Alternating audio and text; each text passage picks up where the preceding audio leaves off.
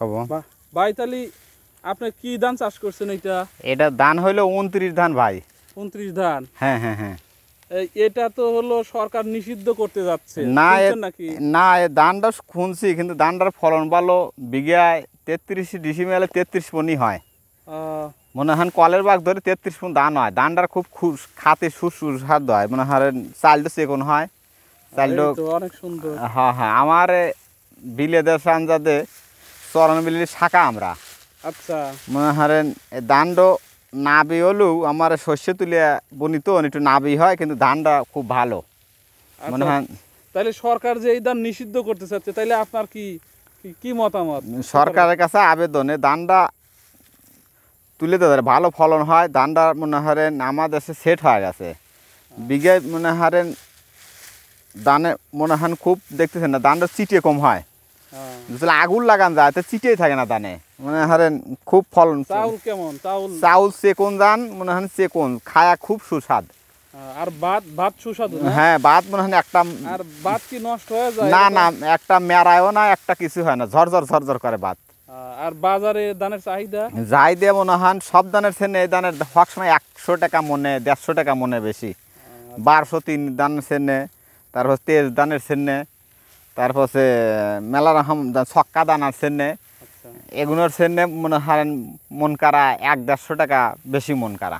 আচ্ছা এই ধান নাকি দুই ধরনের আছে একটা দুই কেজি একটা দশ কেজি বেতন এরকম কিছু আছে নাকি? হ্যাঁ আছে দান এটা মনে হয় অফিসের দান একটা একটা কোম্পানির একটা মনে হয় নিহারে কেউ এক কেজি কেউ দুই কেজি কেউ তাইলে আপনি চাষ করছেন এটা কয় কেজির প্যাকেট ছিল? আমারটা হলো দুই কেজি দান ও দুই কেজি তেত্রিশ শতাংশ। হ্যাঁ হ্যাঁ হ্যাঁ হ্যাঁ। আচ্ছা আর বেতন কত দিয়ে কিনছিলেন? বেসন লিছিল একশো দশ টাকা কেজি লিছিল। তার মানে দুই দুইশো দুই কেজি ধান কিনতে মাত্র দুইশো বিশ টাকা। না একশো বিশ টাকা একশো দশ টাকা। একশো দশ টাকা হলো দুই কেজির দাম। হ্যাঁ হ্যাঁ হ্যাঁ। তাই তো একবারেই কম। মানে। বেতন কিন্তু একদম কম লাগছে। আর সারটা কেমন লাগে? সার মনে হয় শস্যের বই তো আমার খুব কম লাগে। মনে হয় আমি খুব কম দিছি বিঘায় ফসফেট দিছি বিঘায় আধ মন ফসফেট দিছি মাটি সার। আর ইউরিয়া দিছি মনে হয় পনেরো কেজি ইউরিয়া দিছি। আচ্ছা আর এই ধান কতদিন লাগছে পাকতে কত এর দানটা লাগে মনে হারেন এই পঁয়ষট্টি সত্তর পঁচাত্তর দিন লাগে। তাহলে তো একদম কম সময়। তার মানে এইটা হলো দুই কেজির প্যাকেট এই জন্য আগে পাকে। হ্যাঁ হ্যাঁ হ্যাঁ চারা দশ কেজিটা পরে। দশ কেজিটাও পরে কিন্তু একটু মনে হারেন ওই পাঁচ দিন সাত দিন এরকম আগ পাস। নব্বই দিনের ভিতরে একখান বইয়ে কাঁচা থাকে না সব পাইকে যায়। আর এই যে আপনার এলাকায় ধান তাইলে কীভাবে যায়? এই যে কোনো রাস্তা নাই পথঘাট নাই তাহলে কীভাবে ধান ওই নিচ্ছে? পথ গাত মনে হারেন কেউ মাথায় লিচ্ছে কেউ ওই কেদর ভিতরে মহিষের গাড়ি লিতেছে।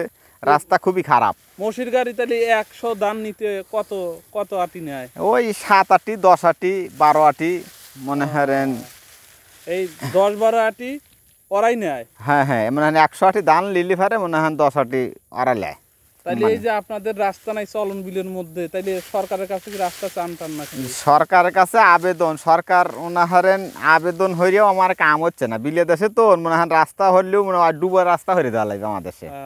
আহ, ডুবো রাস্তা হলে তাও তো এই ধান নিতে খরচটা কম হ্যাঁ। হ্যাঁ মনে হয় আমার দেশটা হলে পাথার দেশ বৃষ্টি বাদল হলে মনে হয় খুবই যা কঠিন।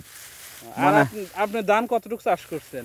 এই বিঘে চারিক মনে হয় না? হ্যাঁ হ্যাঁ। চার বিঘা চার বিঘায় তাইলে আপনার খরচ কেমন হয়েছে চার বিঘায়?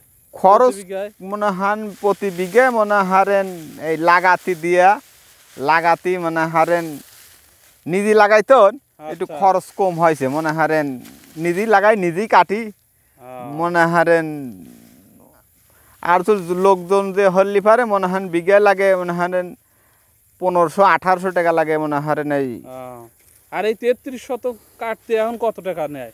তেত্রিশ শতকে এখন কাটতি বর্তমান লিচ্ছে পাঁচ হাজার টাকা। পাঁচ হাজার আল্লাহ এত টাকা।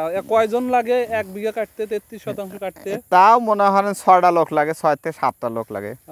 তাহলে এই পাঁচ হাজার টাকা মানে এখন ধান কত আপনার এলাকায়? আমার এলাকায় ধান এখন বর্তমান যাচ্ছে নশো টাকা মন। নয়শো টাকা মন বাহ। তাইলে যদি কেউ এই বীজ চায় অথবা ধান নিতে চায় আপনি দিতে পারবেন নাকি? হ্যাঁ ডেলিভার আমার বাড়ি থেকে দেওয়া লাগবে মনে হারেন।